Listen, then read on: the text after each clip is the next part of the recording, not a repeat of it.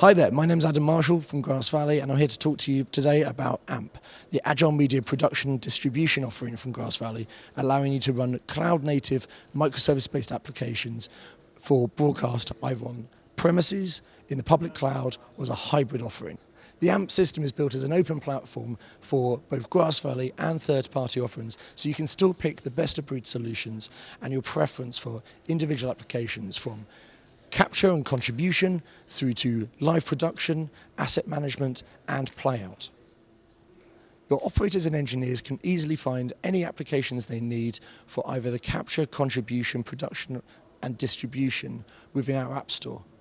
All of this with a SaaS-based commercial model, so you only pay for what you're actually using, reducing your business risk with any new investment.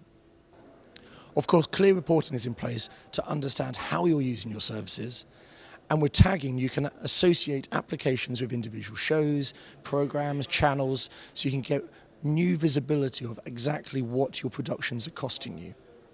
All of this as an open platform has full REST APIs, allowing us to use our applications, but more importantly, allows you to still integrate any of your business services that you might want to, from control to deployment to reporting and operation.